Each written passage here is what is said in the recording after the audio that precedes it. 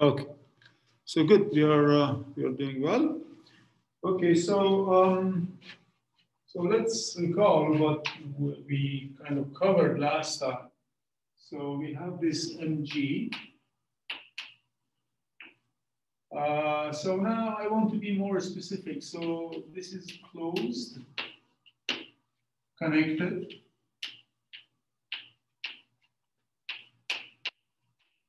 Riemannian manifold.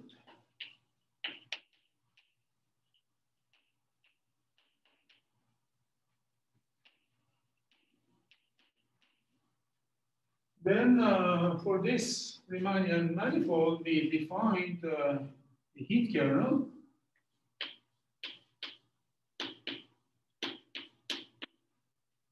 This was uh, called heat kernel. It, it, it's, a, it, it's, it's an analytic object that's attached to the manifold and it's metric together. It's a metric object and manifold object. So this K goes from m cross m cross r strictly positive to um, r for now. So it had to enjoy three properties. Um, one was that k is c0 jointly, c0 means continuous, right?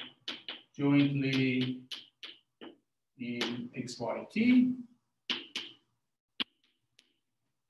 uh, C2 in Y, and um, C1 in T. These are the kind of min minimal analytic conditions we need in order to get to the second condition. So the second one is that um, K solves the heat equation. Solution, uh, family of solutions of the heat equation.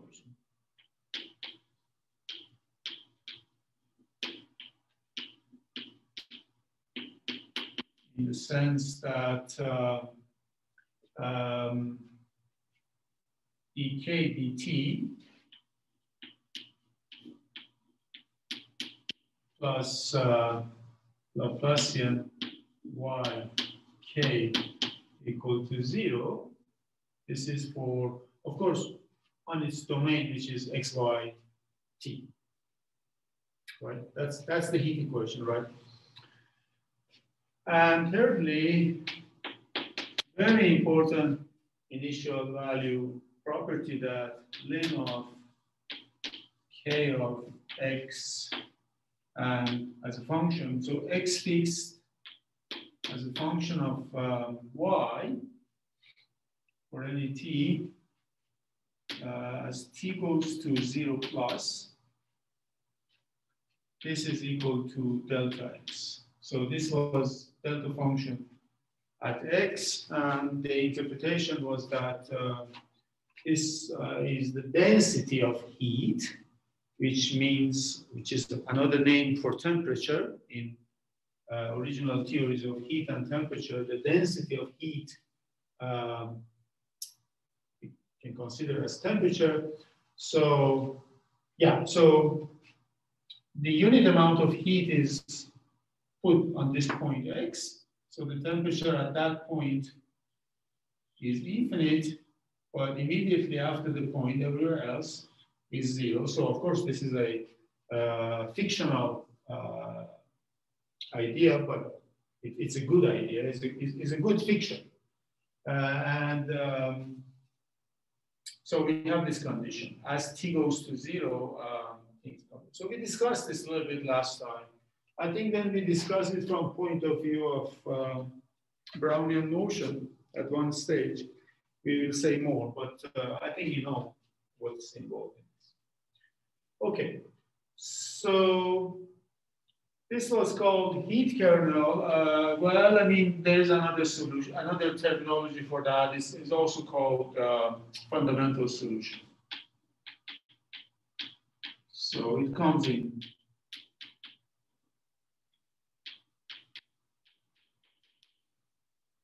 of, of, of this heat equation. I mean, okay, so So uh, what we don't know is that uh, such an object, first of all, exists. We want to prove it. And second of all, uh, is that this object uh, is unique uh, on closed manifolds, uh, compact manifolds, it's unique. And as I said, there are two ideas related to this object, um, which are both important and kind of, um, they are two ways of thinking about the heat kernel. And the quality of these two approaches uh, gives the deepest results uh, about uh, geometry of the manifold from spectral point of view. Uh, so one idea was um, that, uh, so let me write two ideas on K, X, Y, T. The idea one was that uh, actually, uh, if we have um, spectral decomposition of the manifold at our disposal, we can construct this. Uh, so one was that if um, phi i is an orthonormal basis,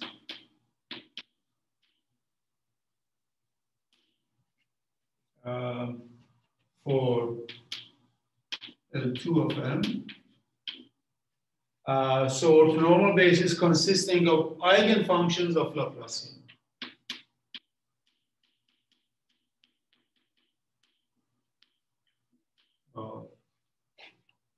eigenfunctions. Delta. So what we what of course Laplacian of phi i equal to lambda i phi i. Uh, then eventually we are going to prove that uh, there is a formula here which is k of x y E is going to be given by this formula, some exponential of minus t lambda i, phi i x, phi i y. And because this Laplacian is self-adjoint, if you restrict yourself to real functions, you can take phi i and uh, to be uh, real valued functions. The eigenfunctions of Laplacian will be real valued. And uh, so I don't have to put complex conjugation here. But you can also work with complex uh, functions. And in that case, if you pick those, you have to put bar on this one. But here, this is okay. Okay, so this is summation over i. Now, of course, this, uh, we know that such, a, such decomposition exists, right? This is a spectral decomposition of L2 of L uh, we mentioned in first lecture. I didn't prove it, uh, but the, the, proof is, is available, is analytic, and not much geometry is involved in that proof.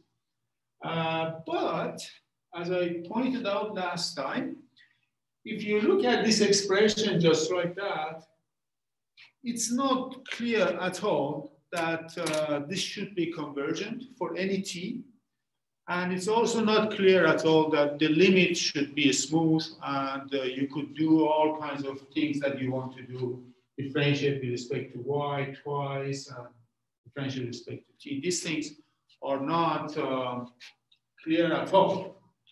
Uh, so this is one of the things that has to be established. Uh, but a good idea is that assuming that everything is okay and works, so this is a big assumption, but let's see formally what it entails, assuming all analytic issues are resolved. Um, you can easily check that uh, this satisfies condition two and three. Uh, then easy to check that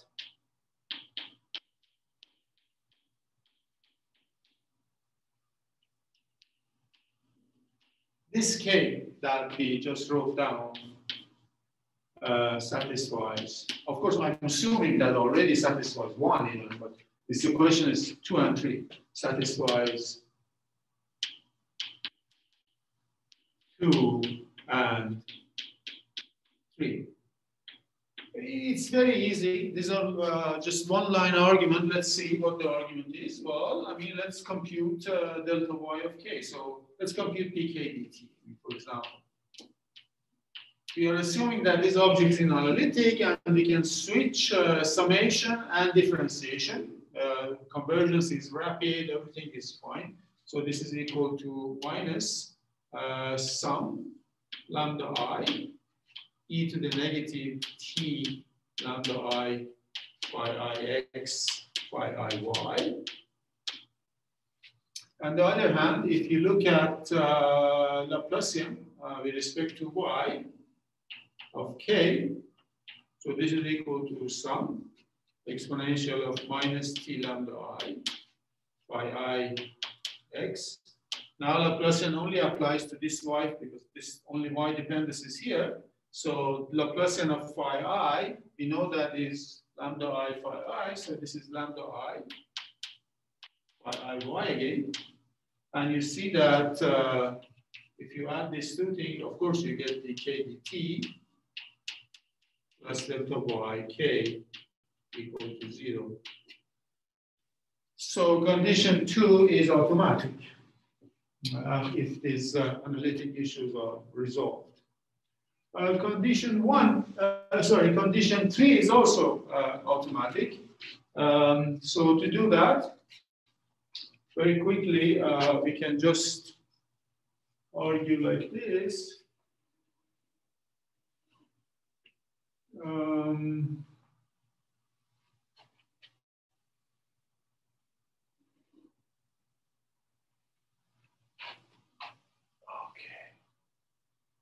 So three, so because uh, three is really equality of to this distribution, so we have to take a test function and apply both sides to that test function. So in this case, because the manifold is compact, so test functions are easy. So let phi belongs to C infinity of m, a test function.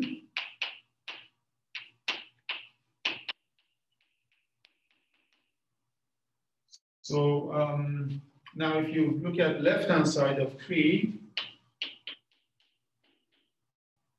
is uh, integral k x y t phi of uh, because it's, it's, it's a distribution respect to y phi of y the volume gy over m but k is given by that expression, so that's equal to uh, integral over m sum exponential minus i y i x y i y and this phi phi y the volume g y Okay, so uh, then what we want to do, first of all, I mean, this all variables you can pull out, and again, you're switching summation and integration, so this is equal to sum, uh, and then e to the minus t lambda i phi ix, uh, and then uh, okay, so we have this product, inner product of these two terms, so integral over m phi i y phi y t volume g y. So let's call these numbers, these are the so-called Fourier coefficients of this function phi in the basis phi i of y, right? So let's call these guys ai. So um, as t goes to zero, these guys go to one. So this converges to, as t goes to zero, to sum phi i of x ai i. And this is, of course, um, phi of x, which is uh, just the value of this distribution on the right-hand side. This is equal to right-hand side. Of course, I mean, here we are, this is the Fourier, these are the Fourier coefficients of this function. So this is Fourier expansion of, uh, of this function phi of x in terms of this orthonormal basis phi i. So this whole thing is phi of x. So that's also quite easy to, to, to, to, to deal with. Uh, so this was uh, this is one idea. Okay, so we have if we can work out this, we can if we can prove that this series is um, convergent for any t positive, the limit is smooth, da da da. Then uh, you have constructed Kirchhoff. In fact, we will show that. And so we have one expression for Kirchhoff. So this this expression now is extremely useful. Um, uh, from some point of view, now let me tell you why. Um, so if you restrict uh, this to the diagonal,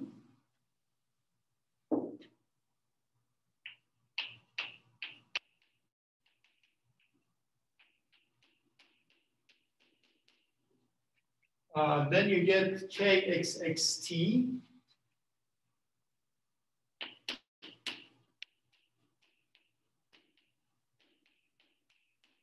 equal to sum exponential minus lambda i t phi i x squared.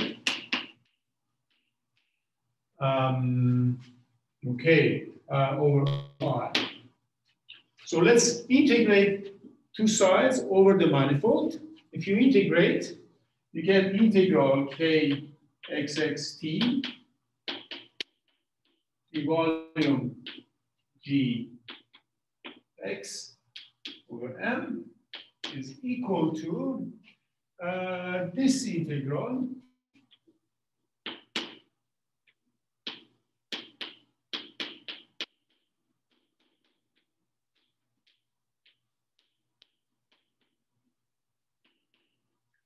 But uh, these guys um, so this comes out, but then these integrals are one because uh, I said that we choose an orthonormal basis, right? I said we choose an orthonormal basis.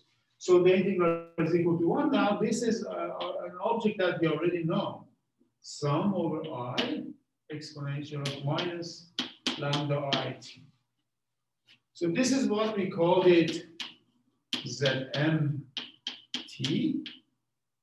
And this is, uh, we call it partition function. So you can call it partition function.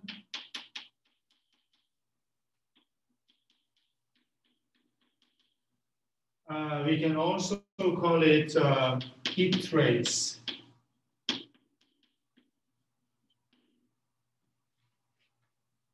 Heat trace is this one notice now that this, this function is completely spectral, has uh, nothing to do with anything else except the spectrum of manifold. So this is a spectral invariant. So note, and so this is very important. Um, ZMT is a spectral invariant.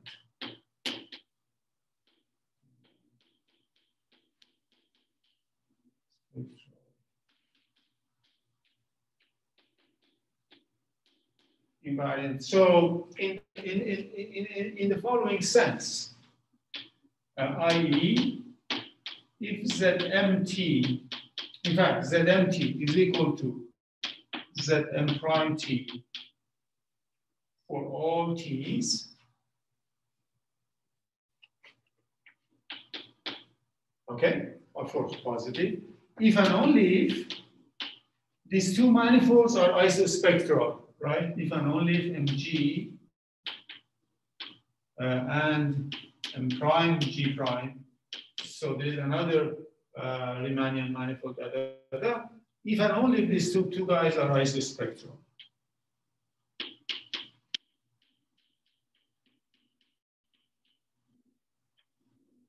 So that's, uh, I mean, okay, so this is quite easy, right? I mean, uh, if you, of course, if they are isospectral, I mean, these lambda i's and lambda i primes are the same.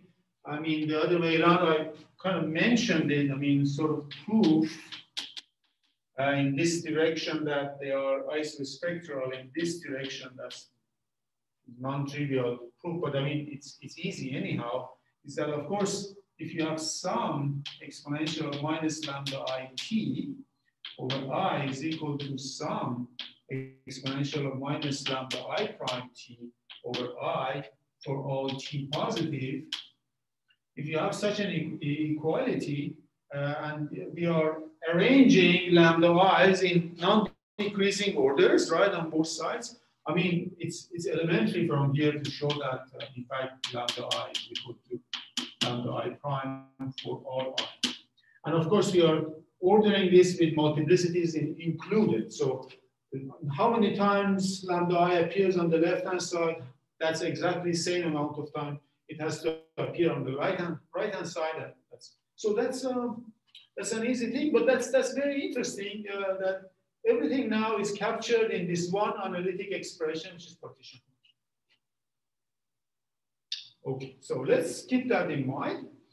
Now, I said that we have, um, we are going to also do a second, um, we're, we're, going to develop a second idea for uh, this. Any questions, by the way? So we will have a second idea for this uh, heat, uh, heat kernel, which is um, a geometric, uh, I would say, yes, kind of geometric idea. So this is functional analytic or purely analytic idea. Now a geometric idea is this asymptotic expansion. So this is idea two. Is that um, uh, will prove an asymptotic expansion with um, asymptotic expansion.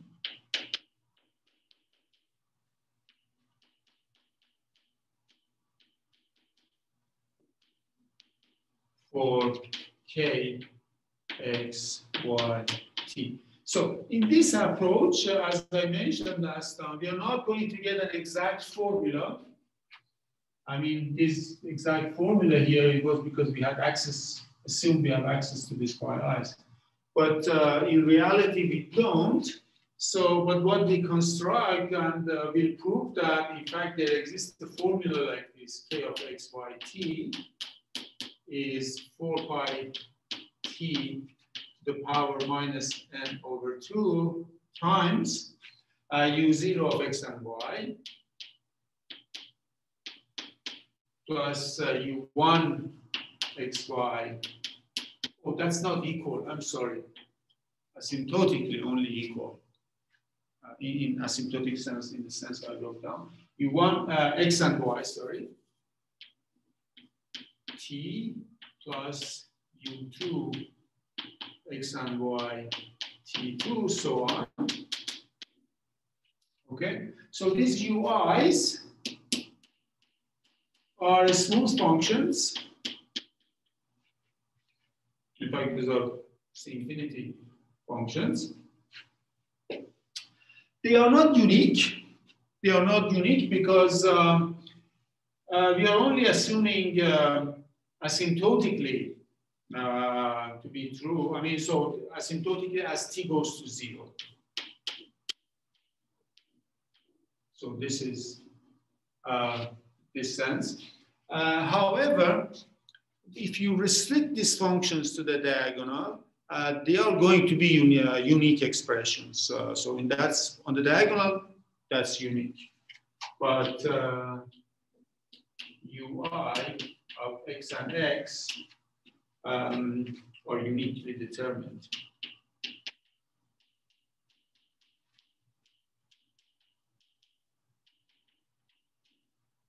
And in fact, u0 x and x is, uh, as I said, we will prove that u0x and x is 1. And uh, depending on what we want to do in the rest of the course, uh, in fact, it is known that u1x and x is one sixth of scalar curvature. So this is the scalar curvature.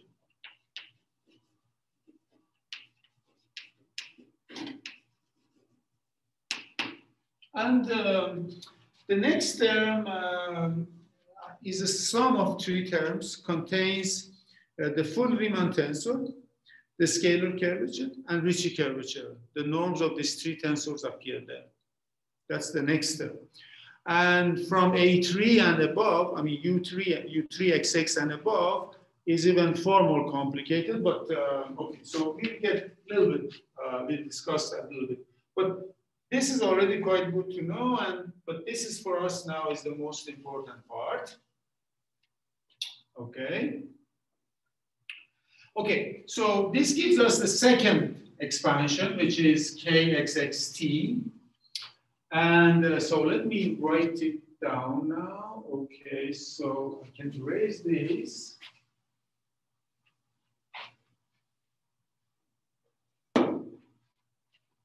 So with the second idea that uh, we are going to do, uh, you get kxxt, as I said, asymptotically given by 4 pi t minus n over 2 times, uh, okay, u0 is a functions, xx plus u1, xxt, one. And then, of course, what we can do, if two functions uh, are asymptotically the same, mm, these are like functions on x and t. Uh, the integral over manifold, the manifold is compact, are also asymptotically the same. So integrating this asymptotic relation, you get asymptotic relation.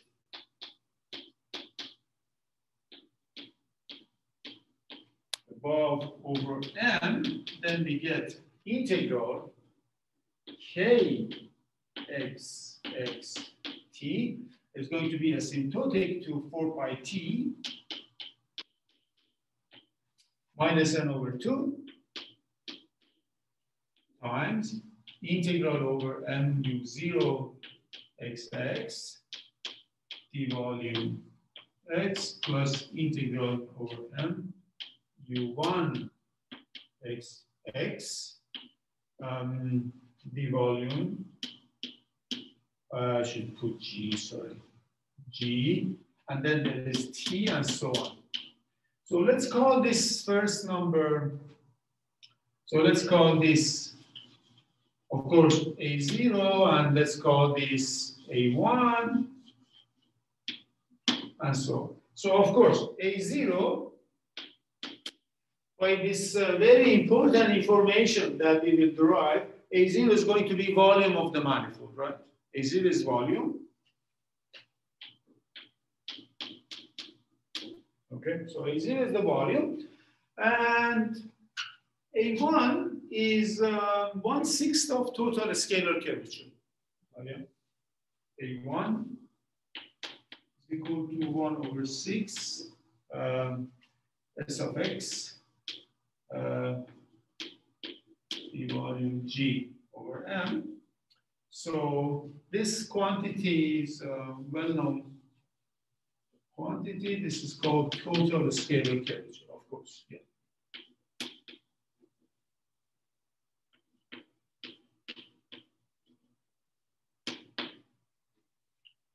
Okay, so we have on one side from this second idea, this expression, on first idea, we have that expression. So we put them equal to each other.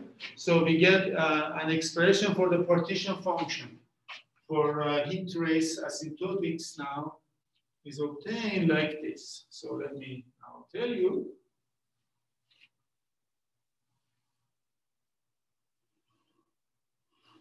Okay, so let's call this uh, double star. And let's call this star. So if you compare star and double star,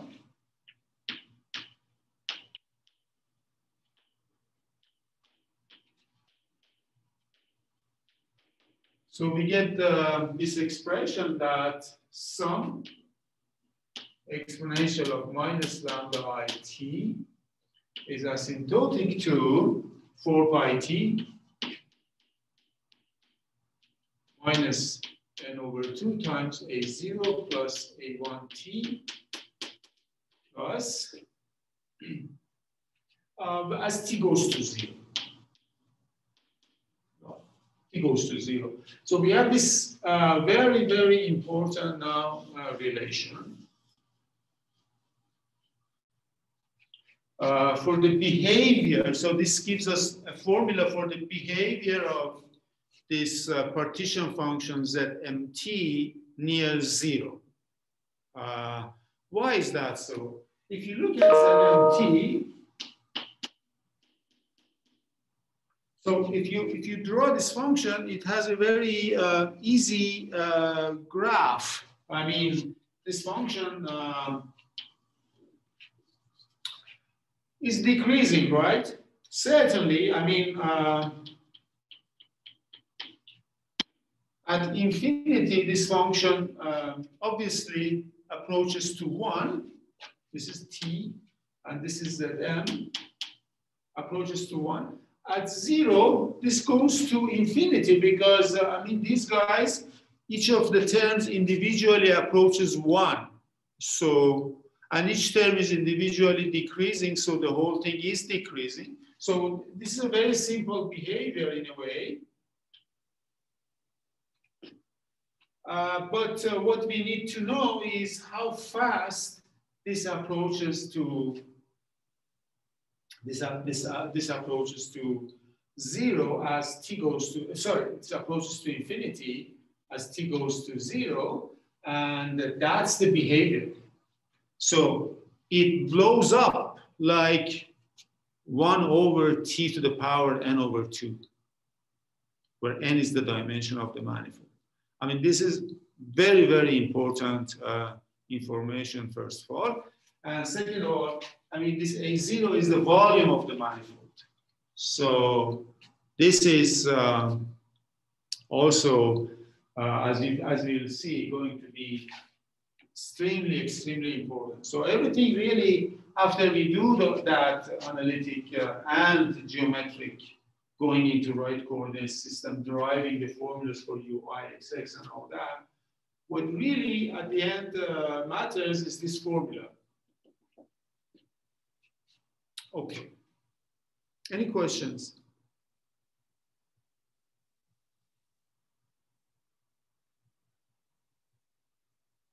Okay, so it looks like there are no questions. Okay, so now um, uh, let me just uh, get this actually. Do we know anything about this coefficient in different dimensions? For example, what happens in different dimension, two or three? Sorry, say it again. Do we know some information about these coefficients in for different dimensions, like two, three, four? I mean, at least for these uh, few first dimensions. So Can we say anyone is zero or? You mean UIs? No, AI. Yeah, I mean, as I said, for all dimensions, we know that A0 is the volume in all dimensions, right? That's just the volume.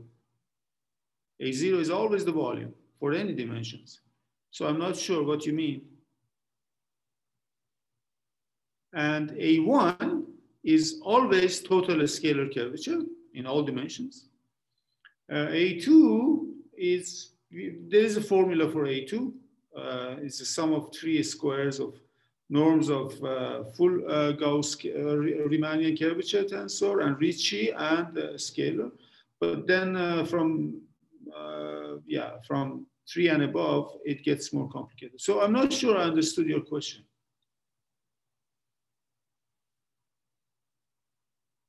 Okay. Yeah. Uh, sorry, if I may, if I may ask a question. Yes. Uh, so actually two. So basically what you say is that these UIs can be obtained uh, using the, the uh, local behavior of like, assuming we write it in coordinates and then we have like GIJ stuff like that. So what you're saying is that there exists like expression for UN, which people can compute, go ahead and compute, but it gets more and more complicated. But it's computable, however. Yes, it gets very, very, uh, very, very uh, complicated. I, uh, I invite you to open uh, one of my papers where we worked out these coefficients for Robertson-Walker metric. Uh, so we computed with my students uh, up to term A12. And these are, um, they are amazing. And in that case, I mean, the Robertson-Walker metric is not the most general metric there's only one parameter AT. So that, that's, so, but no, I mean, you can, uh, there are manuals uh, about these coefficients written. So up to A6, there are uh, formulas which have many, many, many terms. Uh, but then, my God, A10 is thousands of thousands of terms, can easily pile up. Yeah, but what I'm talking about is that there is an algorithm Right? Yeah, there is an algorithm. Yeah, there is an algorithm. That's that, right. That's interesting. I think. Like, are, are you gonna speak about this? Like how? Uh, yeah. Term it. When we prove uh, the result, uh, we will get to that. Uh, but um, yeah, I mean, it's clear that there is an algorithm. Okay. Okay. Interesting. Okay.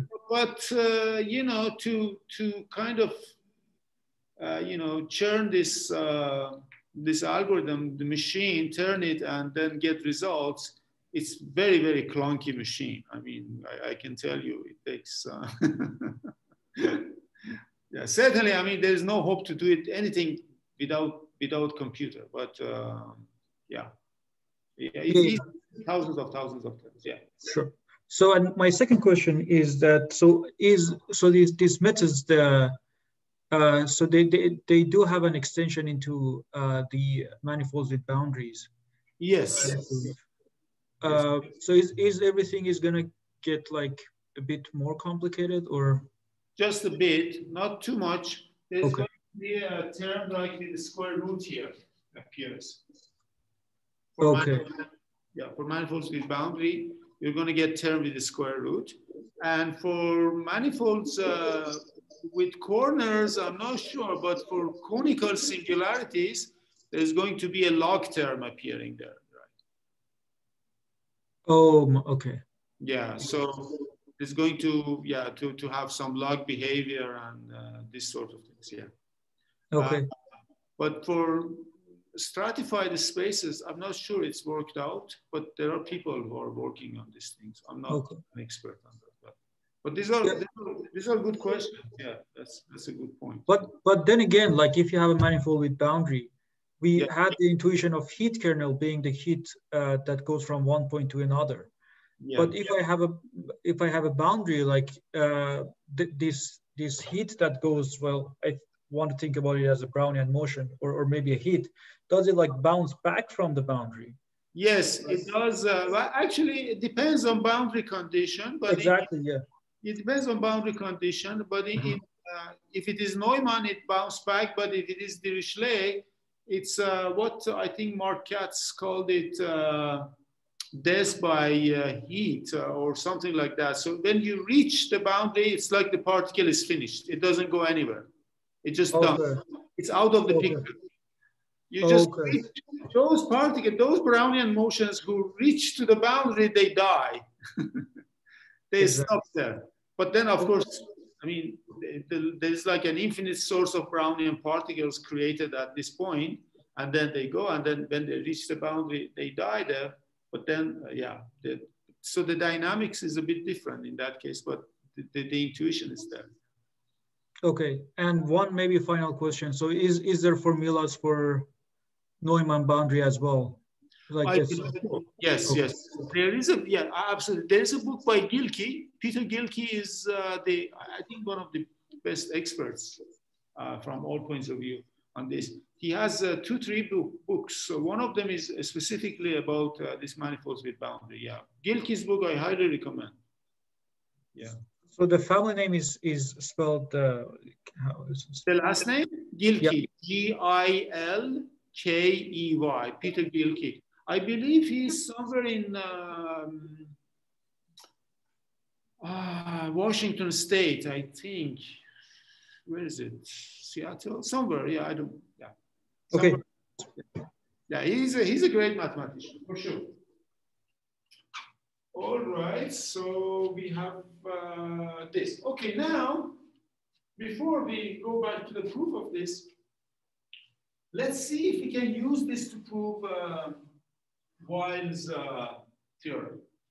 I mean, this statement, can we use it to prove uh, Weyl's uh, theorem? And in fact, we can, and that's what we are planning to do immediately because we are at the point that we can just uh, see some dividends of this approach because doing this analysis is okay, but then uh, getting the dividends here like that is, is important. So let me just uh, do that first.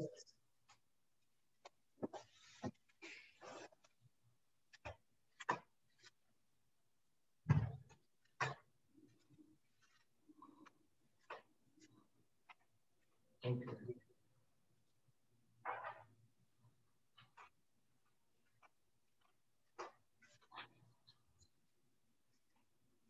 So I think if you are not speaking, if you mute yourself would be the best because, uh, yeah, I mean, right.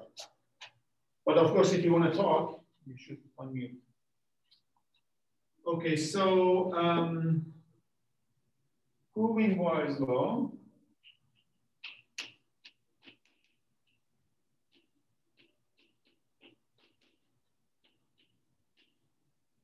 Uh, from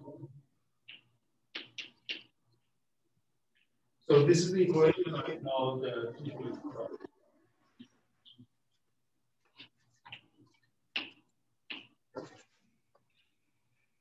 uh, so of course, A0, remember, uh, is uh, integral zero. Xx the volume G. So this is volume of M because this function is equal to one, as I said. Uh, right. Okay.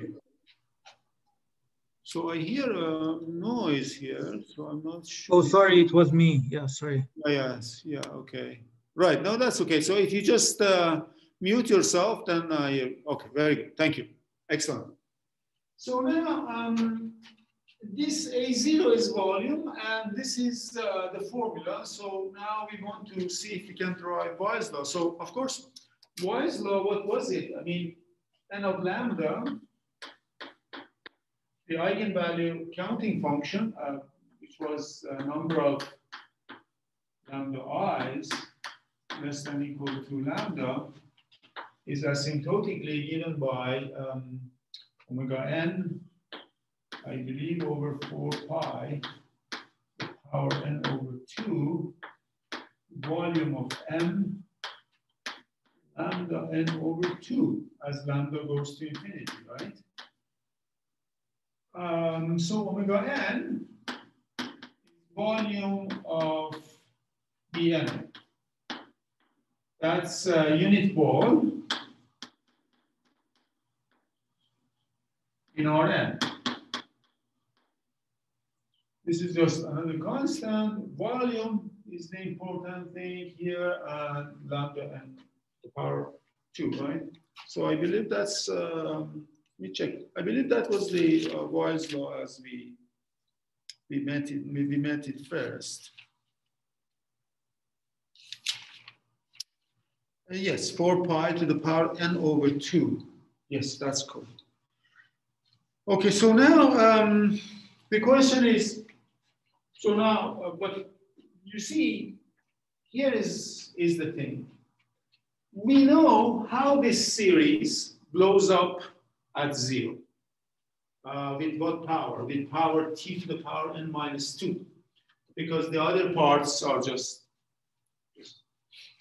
polynomial pos positive powers. I mean, that's, that's the term that it shows. Uh, dominant term near zero is this term. Okay, so, but how can we get information about growth of these lambda i's? So this is a very, very delicate matter, right? I mean, uh, So, i.e., how to get statistics of, so to speak. Uh, lambda i's from uh, basically um, behavior of this uh, generating function, partition function near zero.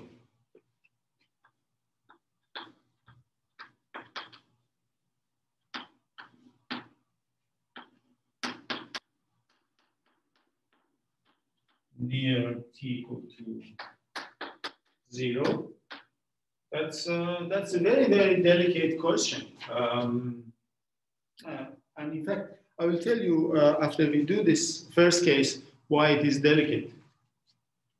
Um, okay, so the, the, answer to this comes from uh, now you will see that uh, the result is, we are going to use is not trivial is a, is a well-known uh, result, part of a well-known theory. This is called the Tauberian theory. So this is, um, so let me write it, it follows from um, this um, Hardy Littlewood In the version that we are doing uh, and is used is Karamata Tauberian theorem.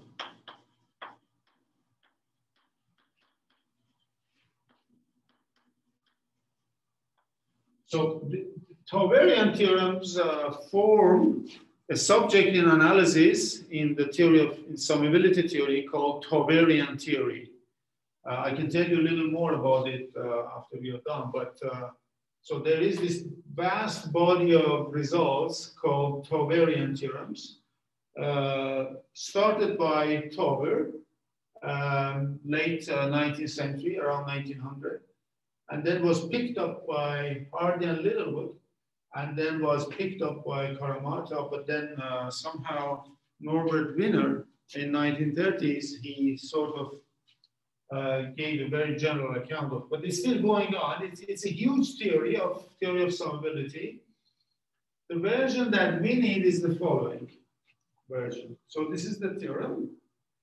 Let uh, mu of lambda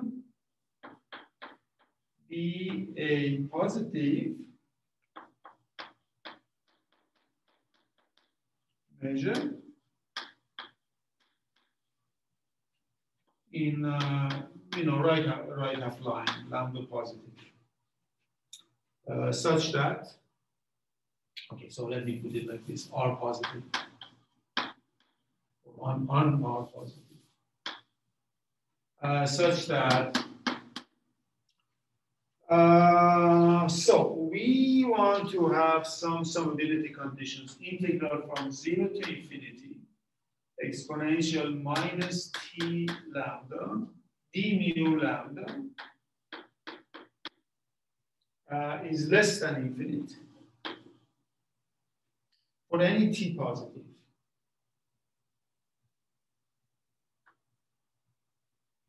Uh, for any positive. First of all, this condition so this basically tells you, uh, you have seen this expression. This is the Laplace transform of the measure, right? So this is Laplace transform. We're saying that Laplace transform exists for all t positive of this measure. And such that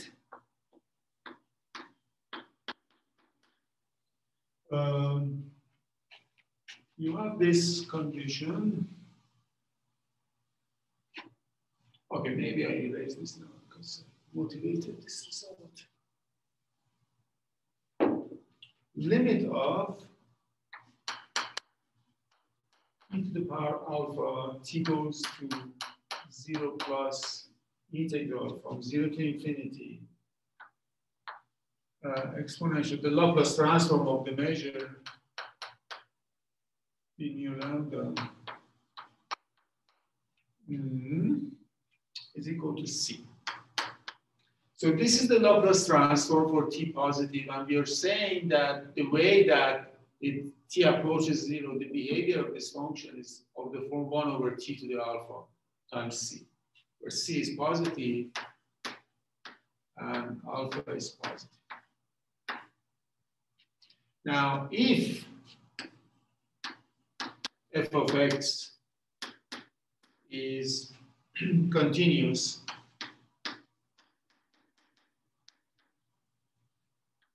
On 0, 1,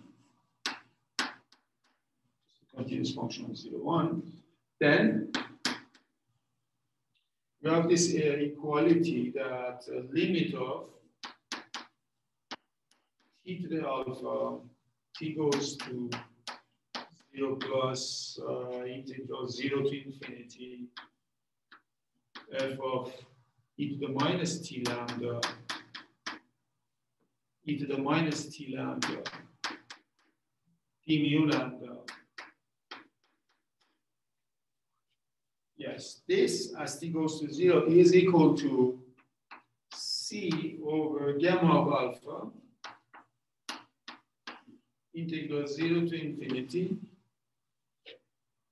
uh, f of e to the minus t uh, yeah, t to the alpha minus 1, e to the minus t. So this gamma is the gamma function. Can you raise this part here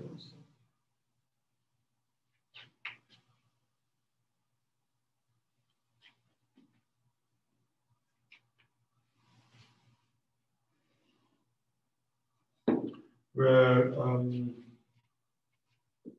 so this uh, gamma alpha, so this is the gamma function, gamma s of the gamma function.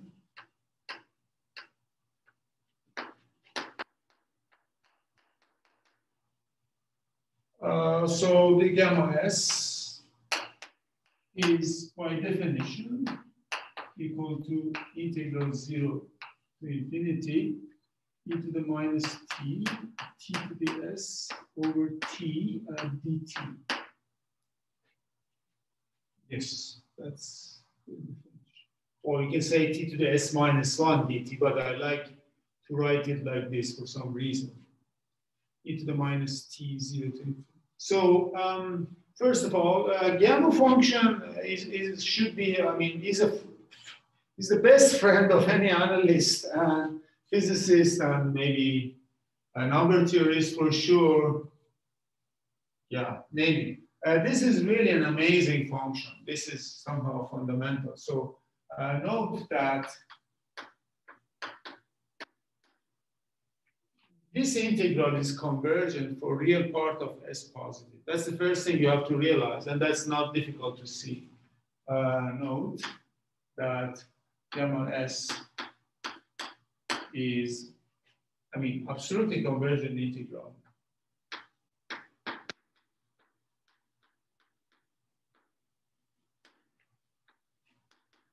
for a real part of S positive. So we are going to work with this again and again. So let's let me just tell you exactly uh, that that's the case. So or so the first domain for gamma is going to be uh, just the right half plane.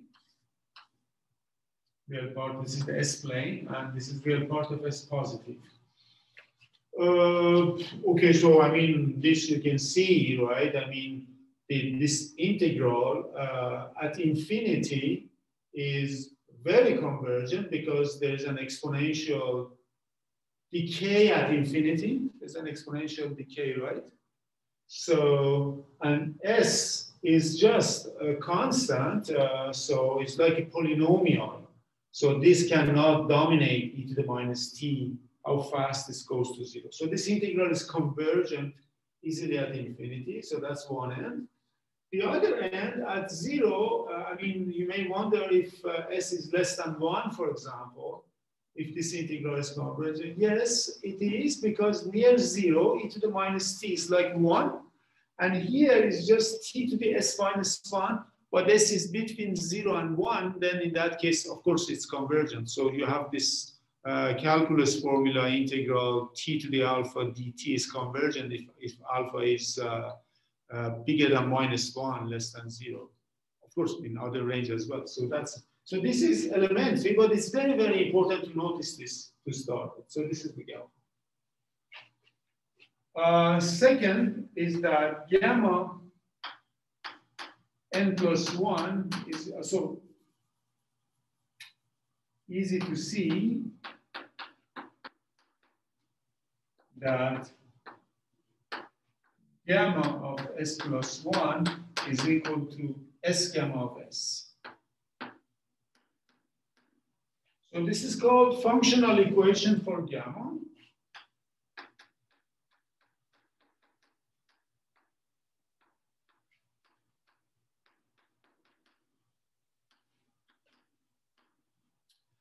Uh, again, proof of this is absolutely easy. You just, um, yeah, I mean, uh, you have to do integration by part. You do integration by part and you derive that. So um, this in particular shows that gamma of um, n is equal to n minus 1 factorial. So the idea of gamma is that it's a kind of analytic continuation or analytic extension of this factorial function, but it's not n factorial, it's n minus 1 factorial or s minus 1 factorial. So the idea you should remember is gamma s is equal to s minus 1 factorial. That's, that's, the, that's the idea. And that's why you have this. you don't have this, uh, you know, equal to uh, s plus 1 times gamma of s. It's s gamma of s because of this. Okay, so that we can also easily prove. And for now, we just need this, that uh, gamma of n is n minus 1 factorial. Sorry, for n equal to 1, 2, so on. Okay, so uh, anyhow, the formula that uh, Karamata's theorem tells us is this. That's, that's, that's the theorem. And uh, when, uh, when we come back after the break, five minutes, uh, I will prove this result. And I will tell you that uh, how this will imply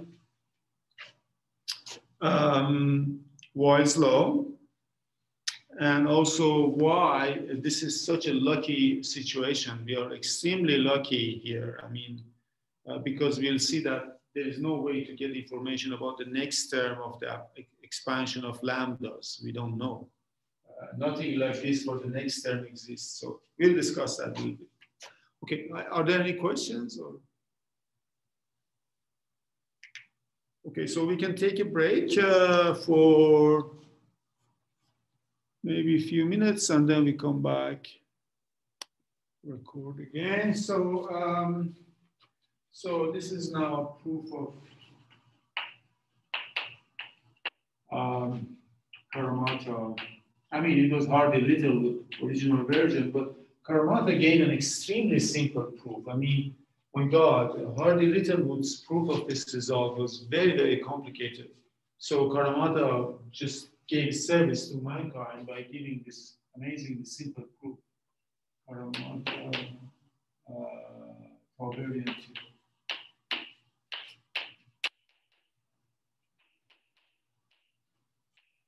Um, so what we can do uh, now, you see, it's very nice because f is continuous on this compact interval. We can approximate f by polynomials. So using Weierstrass approximation,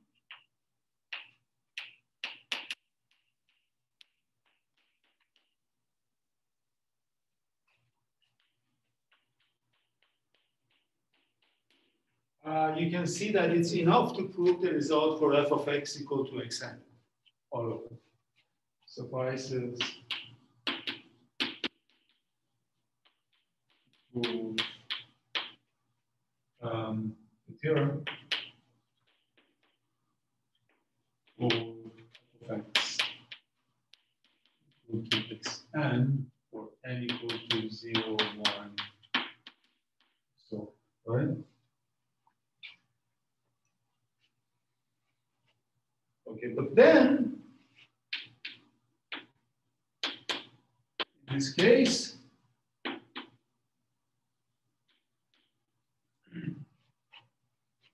limit of um, so here we are dealing with um, case. So limit of um, t to the alpha as t goes to 0 plus integral 0 to infinity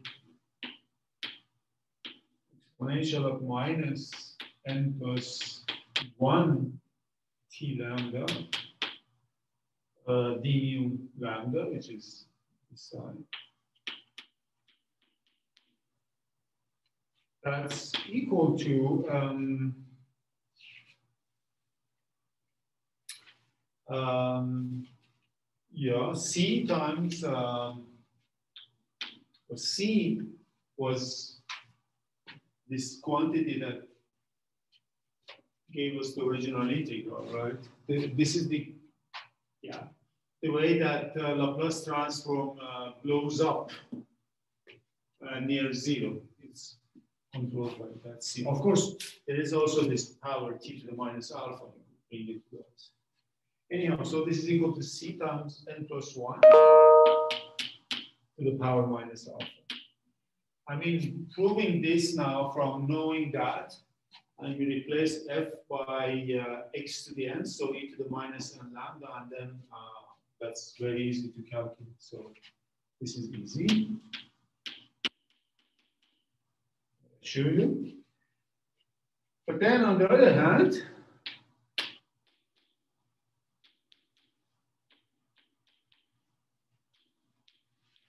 Um, also, we can compute uh, C over gamma of alpha,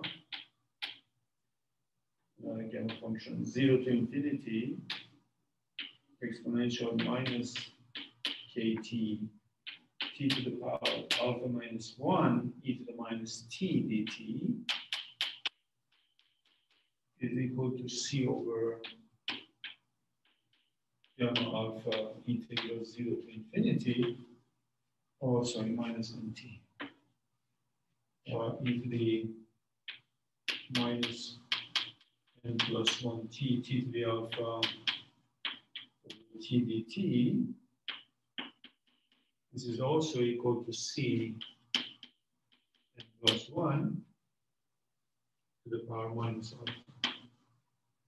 So the two sides are equal, so that's, um, so I'm saying from the definitions, this easily follows in this case. There's nothing to prove really.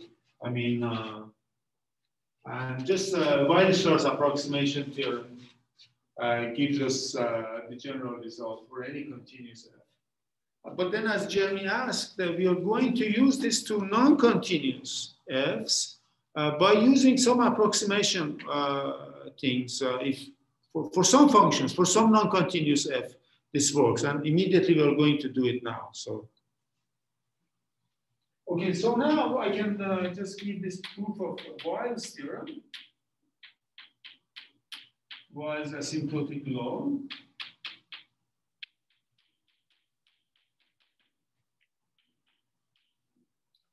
Um, so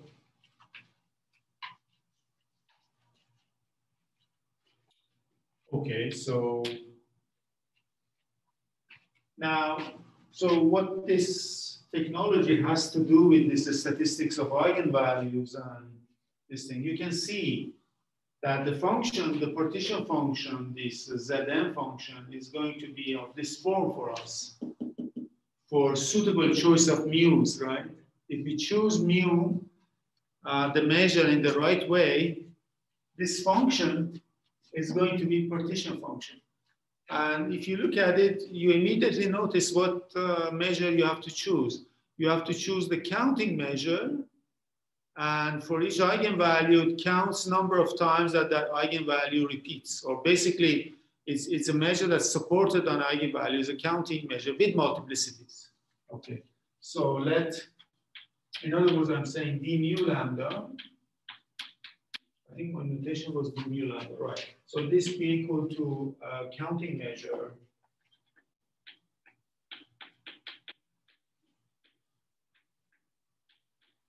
Now, of course, counting measure with multiplicities, I mean, not just uh, distinct points, right? With multiplicities.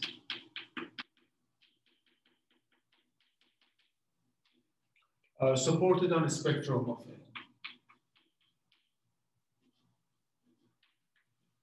Because there's nothing in this formula that tells us we shouldn't take, we are not allowed to take discontinuous measures and so we, we can you can take atomic measures and I, I, that's what we're doing now, right?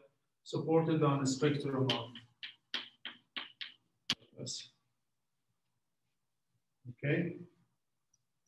Now for uh, your function f, uh, so we are going to take a function which is not uh, continuous. So let me erase this part.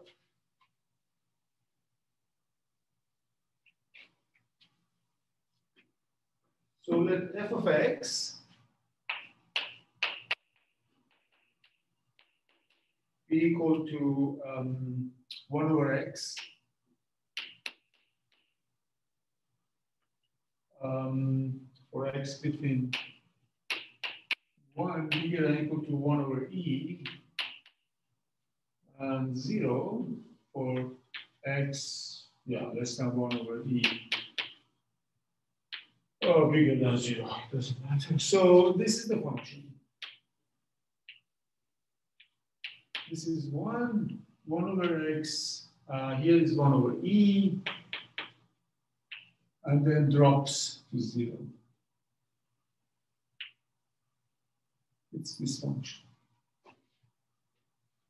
Okay, so so now, uh, so can apply this Tauberian theorem.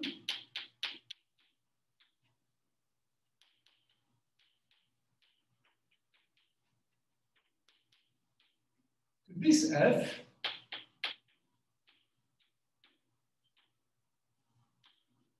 as well. The reason, as I mentioned, is that we can approximate this function uh, by decreasing sequence of continuous functions. Uh, yes, since can approximate uh, this f by a decreasing I mean, point-wise approximation is enough, right? So you just take, yeah, it's easy to see by decreasing sequence of, uh, of course, I mean L1 functions, or I don't know, L infinity functions. There's something. So I believe the lemma that gives us this result, um, Fatou's lemma or something, I'm not sure. So please check it. Is it Fatou that gives us? One of these famous lemmas of measure theory. So we can apply this for sure now. So now what we have to do, we have to compute this integral against counting measure multiplied by that's not difficult. Um, okay, so then we get the name of t to the alpha, t goes to 0 plus integral from 0 to t inverse because you see this uh, T inverse d mu lambda is equal to um, of t to the alpha and t as t goes to 0 plus. Since So as t goes to zero plus, you have this uh, function. Um, Okay, so now one thing we have to use is volume of Bn.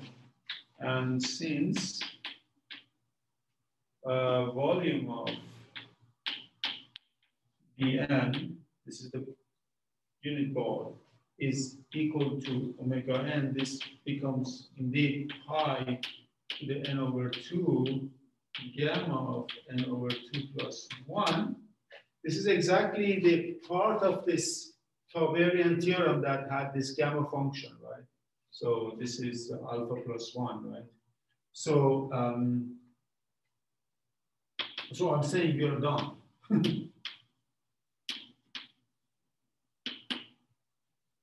um, now I'm worried about this NT. What is this NT? I should have uh, N1 over T here.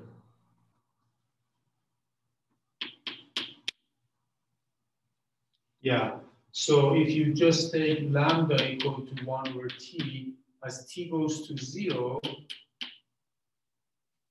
uh, this is really the information about uh, number of eigenvalues.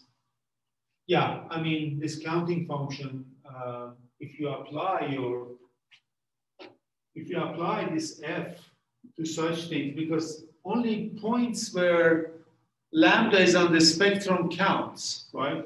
So you should put t lambda equal to lambda n or lambda i for different values, and then sum. So only those lambdas count. So lambda equal to lambda i over t come into the picture and this measure. So really, I mean, there is uh,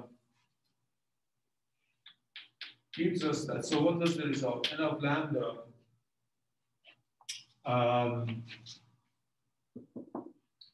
here is, yeah, this formula that we had. So it was like um, uh, omega n over 4 pi the power n over 2.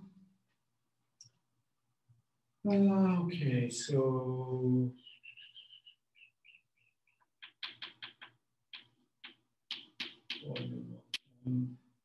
uh, lambda to the power n over 2. Um,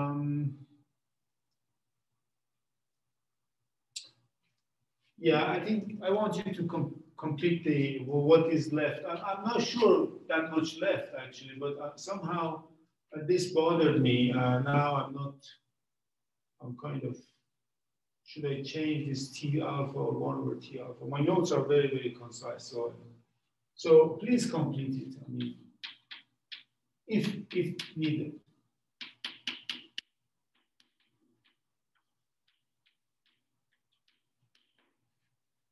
So let's not.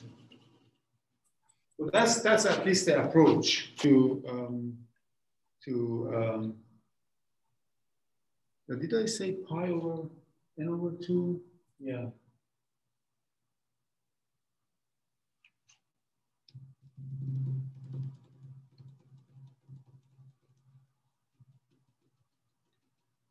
Yeah. Okay. Um, any questions?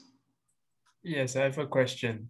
Yes. Sir. So in order to apply this Tauberian theorem, in this case, what is like a in Tauberian's theorem, the, the hypothesis says that uh, if if uh, limit t to the alpha of of of this of something something converges to c, so so we're looking at the rate of growth near zero, right?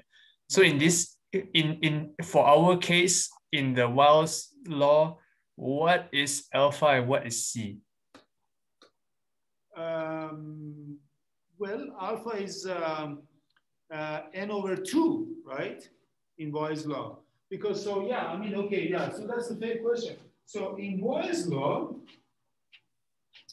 uh, you see, um,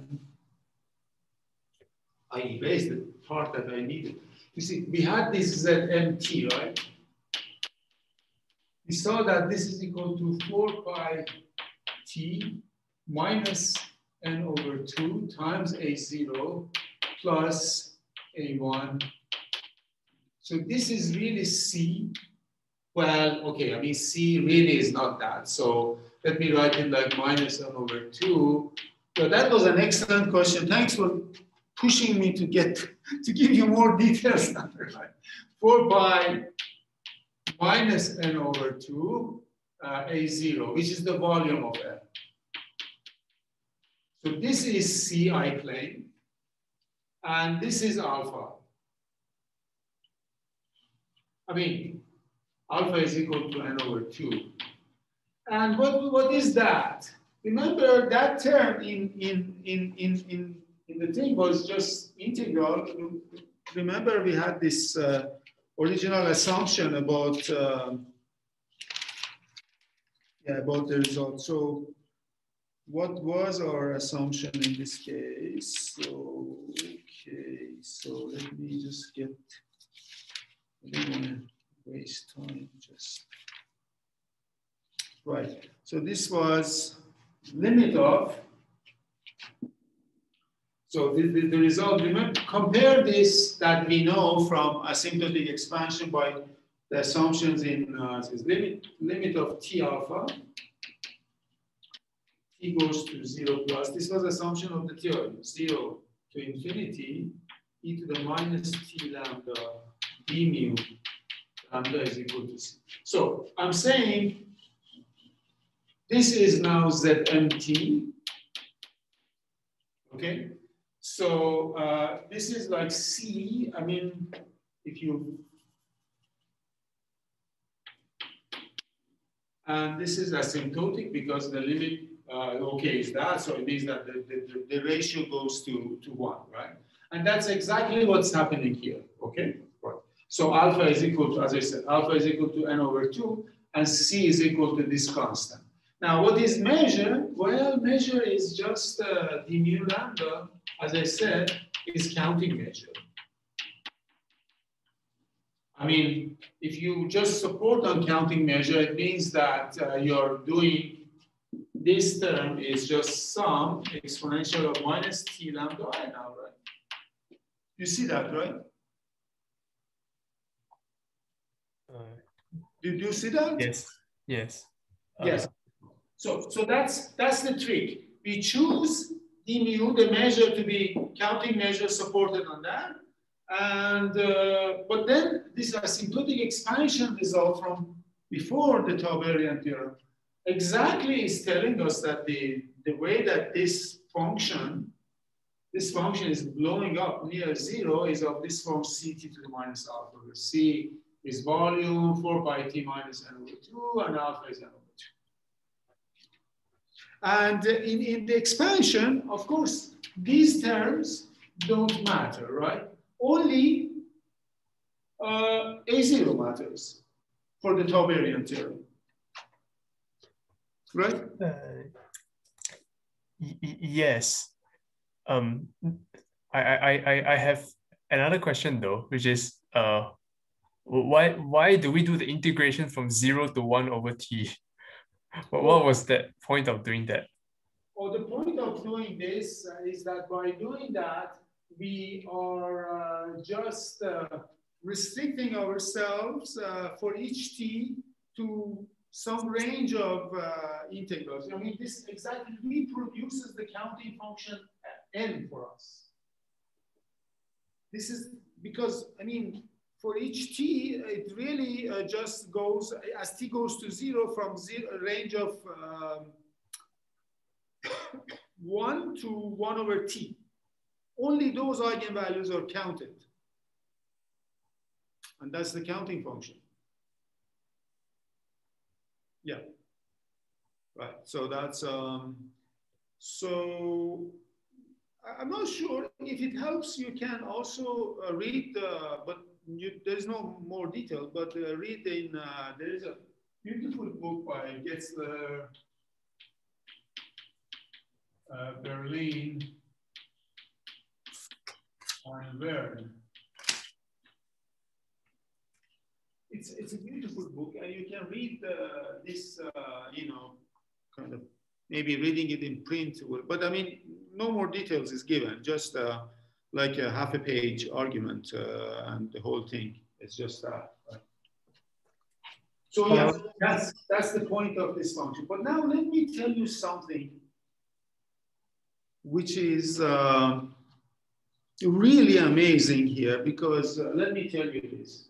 You see, we know how this function, so let me just think about it as your, uh, just look, what do we know? I mean, we know that z of m, uh, sorry, zm of t is 4 pi t minus n over 2 a0 plus a1t plus a2t2.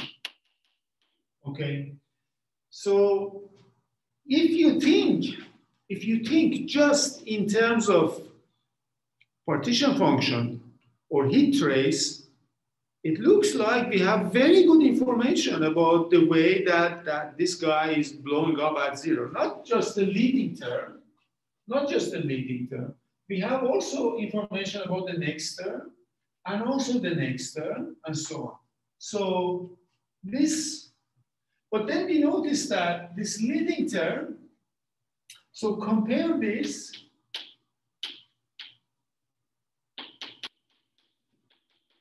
Another thing which is much more uh, interesting for us, that's how eigenvalues go to infinity with uh, growth of uh, lambda i's. So what we discovered using this, I mean that what Weyl discovered is that lambda n grows like, uh, or, or I mean n of lambda, let me put it like this,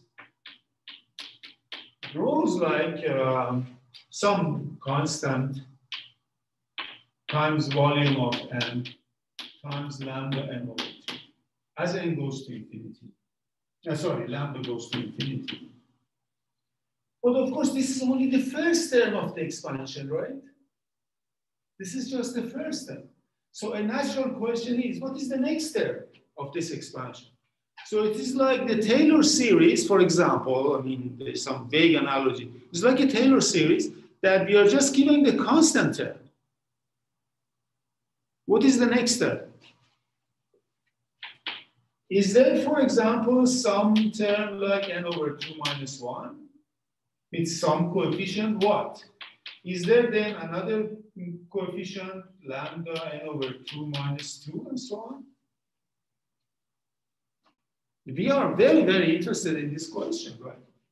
We want to know um, exactly how this uh, n of lambda behaves at infinity. This is the leading term, this is the next term. And the thing is, this, this full information doesn't tell you anything about this part.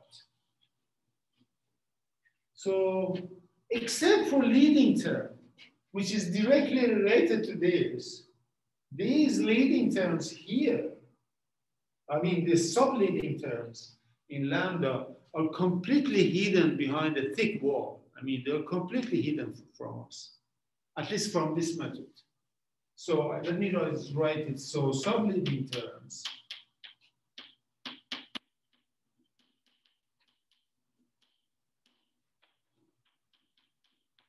are completely hidden uh, uh, Uh, uh, from this Tauberian theory.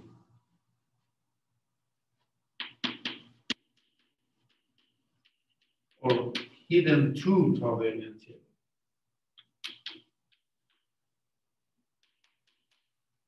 I mean, think about it. We just got from leading term here, we got information about leading term here by this Tauberian theory. But there is no result, as far as I know, there's no result that just like that tells you that, okay, you can relate a 2 with this coefficient, maybe a 3 or some combination with these coefficients. There's no result like that.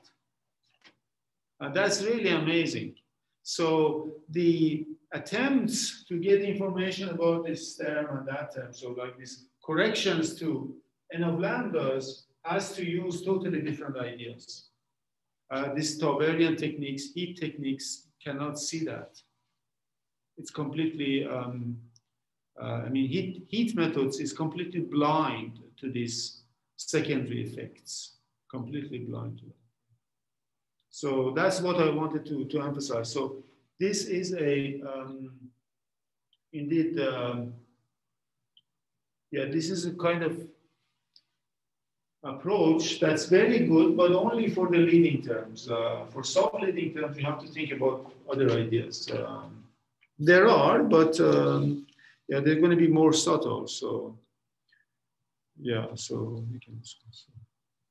Okay, I'll just uh, stop the recording and then uh, I'm